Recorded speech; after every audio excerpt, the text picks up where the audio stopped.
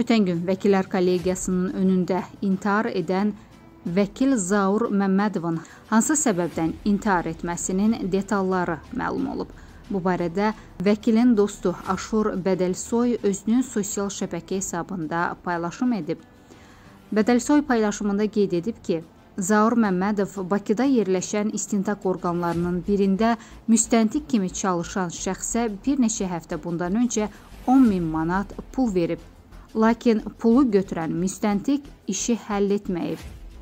İşin sahibi isə Zaur Məmmədovu tutturmaq və prokurorluğa şikayət etməklə hədələyib. Vəkil çarə tapmadığından özünü yandıracağını deyib və məlum hadisə baş verib. Aşur Bədəlsoy paylaşımında qeyd edir ki, Zaur Məmmədov tanıdığı sözünə bütöv tək-tük insanlardan biri idi.